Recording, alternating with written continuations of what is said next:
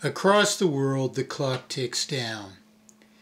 We've had the answer for 30 years, and it is not remarkable that candidate after candidate advocates change, the prescription of which, if any, always evades qualification and even addressing the fundamental issue. Unless the people of the world stand for more, Change will always be retention of the system of exploitation. No purported leader of the world will second guess the printing house. No president, no chancellor, no prime minister, not even a dictator will rethink its unascended existence except to take that unearned profit for himself. The purpose of privatizing a currency of obfuscation and unearned profit, all for a select few, is obvious, particularly in its opposition to preserving instead the private and distinct right of each private individual to issue their promise to pay.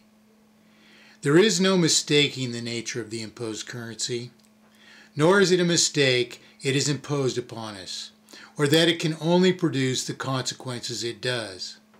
Does President Obama refuse to stand for the people because he already understands the imposed currency is just? Is that what George W. Bush did? Absolutely not. On the contrary, Obama thus confesses either not to understand that currency or to defend it likewise only by evasion. He would have to rethink the nature of the present currency if he is ever to serve us.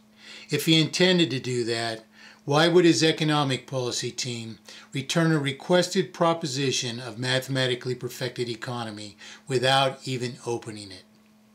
Why have they no public argument against mathematically perfected economy? Do all the members of Congress refuse to answer to the one proposition of true solution because they understand the imposed currency is just? Absolutely not.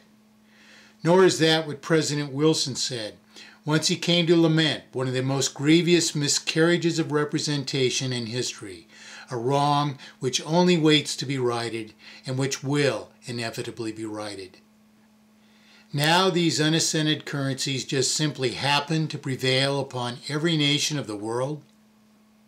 Can just one of the exalted, unelected administrators of these imposed publishing houses even demonstrate how such a currency will not inherently, inevitably, and irreversibly multiply artificial indebtedness into terminal debt and utter failure?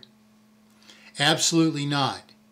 And if you are even tempted to say otherwise, look around you, for all that they do right now itself only multiplies insoluble, unjustifiable debt and its dispossession of us all the further. Now then, as surely as utter failure is inherent and inevitable, there is no safety from the events before us, even for the few of us who may have avoided personal indebtedness. All of us are falling, for what was possible yesterday for all of us is not possible today but by solution.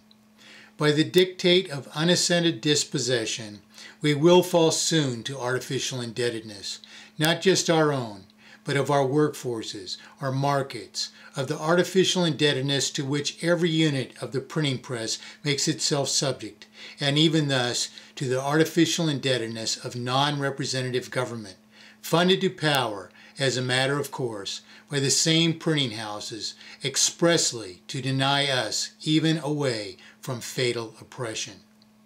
Wake, people. Neither a self ruling populace or a truly free people have any justification for ignorance, apathy, or failing ever to distinguish the common principles which serve all of us equally. At all times, a truly free, self determined people are not just vigilant, with an always wide open ear, listening for the least whisper of tangible abuse of power. A truly free, self determined people unite always because there is one and one principle only which serves all of them And so they unite instantly upon tangible abuse of power, because any and all abuse of power left standing means itself that abuse of power can stand, which is why and how all the present events unfold before us. By the yardsticks of ignorance, irresponsibility, or mere indifference, then, each of us is either a foe or highway to abuse of power. We fight and we stand undeterred for actual liberty and justice, or we are zombies to its loss, usually, of course, hoping to save our own hides for the same futilities by which mankind has always, only, ever slipped backward. Nonetheless, we are in this together, and it is our duty and obligation not just to ourselves, but to all the rest of us, even more so than you have so far stood for yourselves, for each of us to decide our lot. It is your duty and obligation now, not just to understand what is against us, but to take sides. You must take sides with all the conviction you have for anything and everything, because everything is what's at stake, here and now. And because if you don't take sides here and now, and with all the conviction every good thing deserves, then you are already on the wrong side. Because it is you, zombie, who laid down for the printing houses to travel over us. All that you see, already so much as belongs to them, merely for publishing debts which soon exceed every such thing. They already own what you think you own, and the rules of their game are rigged that you will give it up to them. They already own you. If you are not standing against this now, then for your iniquities they already own all that you and even your children and their children will produce. This isn't because these mere printing houses do not mean to collect on that insoluble, ever escalating debt. And yet all this, all that you see, only falls to them now, and now finally, to their own consternation, in a way from which they themselves can only confiscate less from you, because the nature of these people and the process by which they intentionally impose oppression have a great lowly flaw. The utter failure before you is an accident of their own deceptions of their own deceitful hearts. But their oppression is no more an accident or anomaly than worldwide usurpation. And the fact that pretenders, comprising the many non representative governments across the world, stand against you.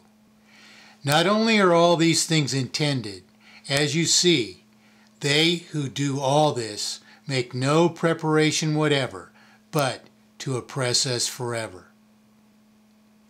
Any of you who ever truly desired rectitude, then, would have seen all this long ago, even in the mere proposition that such an abomination be called economy.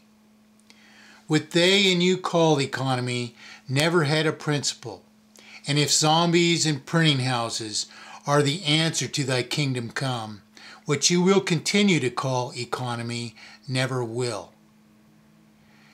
You who settle for less only know the foes of justice in the inevitable event of your own end, because neither they nor their process know when to stop taking.